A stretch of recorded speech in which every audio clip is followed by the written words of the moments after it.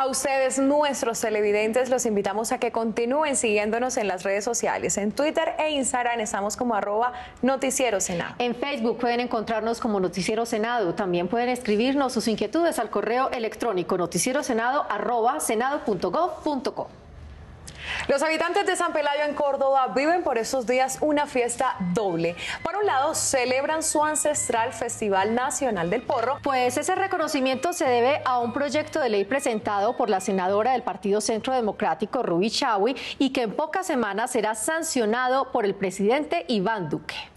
Y con esa nota que nos recuerda precisamente esas noches de fandango bailando con vela en mano y ese delicioso sabor del porro paliteado y el porro tapado, los invitamos a nuestra emisión de la próxima semana. Gracias por su sintonía.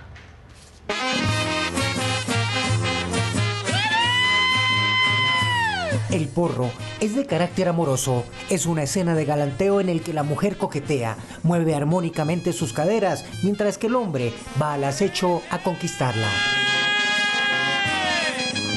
Para los habaneros es un alegato de instrumentos. Allí las tubas y los bombos se enfrentan en tremendo duelo. Los platillos tratan de mediar, pero entra en escena los clarinetes que componen esa hermosa melodía que otrora ambientaba las plazas de pueblos polvorientos del Caribe.